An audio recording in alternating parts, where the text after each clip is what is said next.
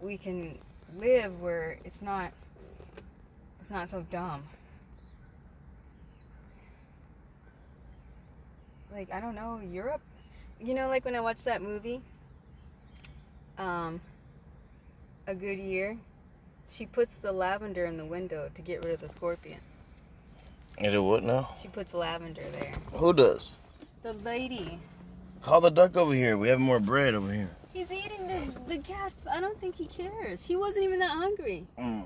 He's already He was. He is hungry. That's why he came for the, to get the cat food. Yeah, but that's what I'm saying. Now he's not because he ate it. I saw him in there eating it. Oh damn. Yeah, look, he doesn't. He'll come over here if he is that hungry. Because, you know, they're smart.